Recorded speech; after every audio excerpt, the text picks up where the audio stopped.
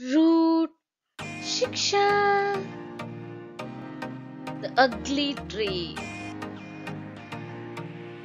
A long time ago, a forest had straight and beautiful trees.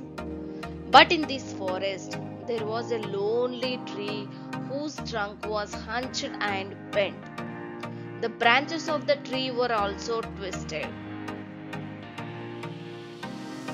The other trees teased and made fun of this tree and called it a hunchback. This made the tree very sad.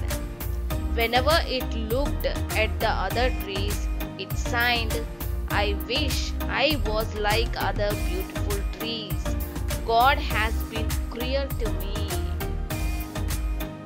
One day, a woodcutter came to the forest. He saw the hunchback tree and grumbled, This twisted tree is useless for me.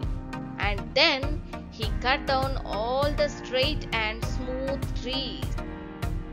The hunchback tree realized that God had saved his life by making him different. The ugly tree moral everything has its own advantages and disadvantages. Thank you.